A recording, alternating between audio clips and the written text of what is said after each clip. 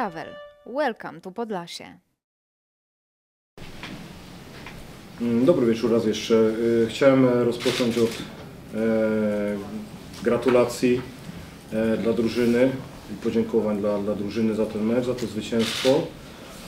E, na trudnym, bardzo trudnym terenie. Mm, I też powiedziałem szatni zawodnikom po, po meczu, że no jestem pełen podziwu dla nich, e, bo to jest nie, niesamowite, e, co oni wyprawiają, że tak powiem, e, na, na tym boisku i imponujące to jest. E, Chciałoby się powiedzieć chwilę trwa, ale oczywiście musimy zachować spokój i, i być konsekwentni, bo jeszcze przed nami sporo meczów.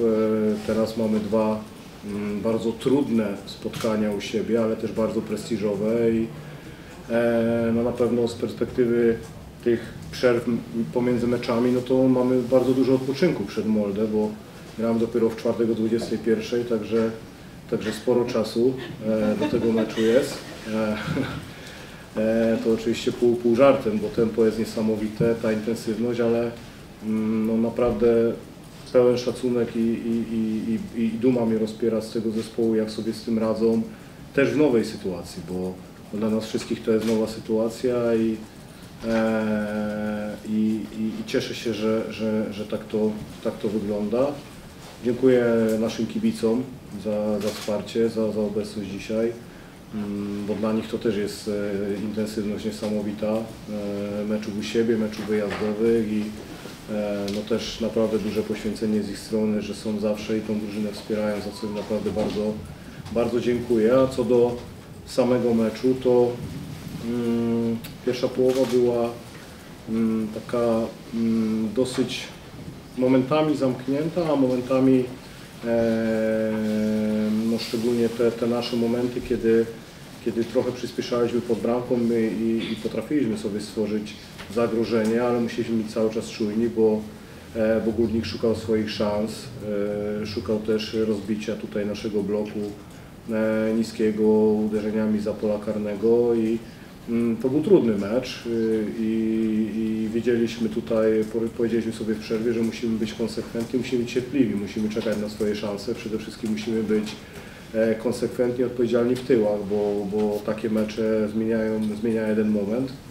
E, No i faktycznie w okolicach e, po, po mm, szyliśmy bardzo szybko te, te dwie bramki e, i one pozwoliły nam e, potem kontrolować to spotkanie. Także mm, no mówię, jeszcze raz gratulacje, podziękowania, bo, bo tu naprawdę e, nie jest łatwo wygrać e, w Zabrzu, nie jest łatwo wygrać z Górnikiem na ich terenie, a dzisiaj to, to zrobiliśmy, jesteśmy naprawdę e, z tego bardzo, bardzo zadowoleni, szczęśliwi. Dziękuję bardzo trenerowi też Urbanowi za, za dzisiejszy mecz, za rywalizację i życzę trenerowi i, i Górnikowi powodzenia w kolejnych meczach. Dziękuję bardzo. Dziękuję trenerze. Czy są jakieś pytania? Ja mam jedno. Proszę bardzo. Do mikrofonu, czy bez? Jeżeli mógłbym prosić. Jerzy Kułakowski, Radio Białystok. Y, Trenerze, ja oglądałem konferencję przedmeczową trenera Urbana właśnie i on y, powiedział, że Jagiellonia bardzo lubi mieć piłkę, ale Górnik też bardzo lubi i spróbuje właśnie tak zagrać, bo wie, że jeśli będzie utrzymać, to Jagiellonia będzie miała, czuła się no nie swoje powiedzmy. I te 20-25 minut rzeczywiście tak wyglądały. Oczywiście liczyliście z tym, że tak właśnie może być i może chcieliście po prostu przyczekać ten moment, żeby później już y, no, przenieść inicjatywę do tempa. ale Może pierwsza połowa nie, ale druga to już tak wyglądało. Do ostrzenia brawem to później oczywiście Górnik chciał grać. Ja też jestem daleki od tego, żeby na konferencjach e, pomeczowych, szczególnie po wygranych meczach, się mądrzyć i, i mówić, jaki to się nie miało plan, jak on wspaniale wyszedł i tak dalej, i tak dalej. Może że tak generalnie mm, mam e, w pamięci mecz, który graliśmy ostatnio z Górnikiem tutaj i, ta pierwsza bramka oczywiście była post- postracona po stałym fragmencie, ale, ale ta kolejna i w ogóle ten mecz tak się układał, że, że po prostu udusiły nas e, fazy przejściowe. Wtedy, kiedy traciliśmy piłkę i wtedy Górnik e, wykorzystywał to przestrzenie i e, na pewno e, wiedzieliśmy przed meczem, że, że Górnik lubi mecze, które są otwarte, które są otworzone, które mecze, gdzie, gdzie tej przestrzeni na boisku się pojawia dużo, bo potrafi grać bardzo intensywnie, potrafi grać odważnie, potrafi grać wykorzystywać te, te wolne strefy i, i wykorzystać dezorganizację przeciwnika i na pewno wiedzieliśmy, że e, musimy przede wszystkim być spójni i kompaktowi i niezależnie od wysokości obrony, na którą się decydujemy w danym momencie, musimy działać razem.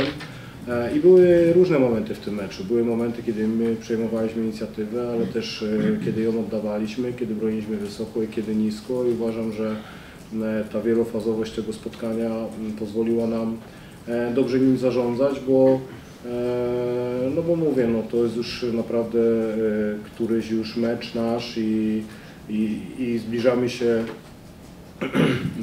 przynajmniej kalendarzowo ku końcowi, bo, bo liczba meczów jeszcze jest, jest spora przed nami.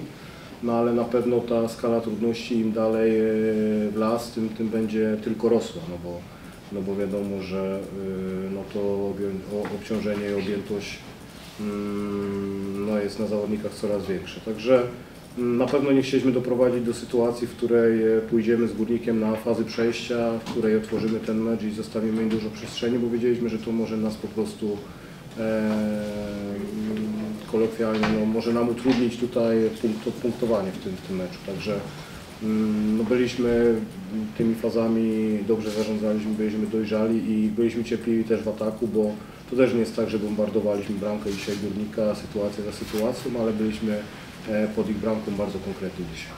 Dziękuję. Dziękuję.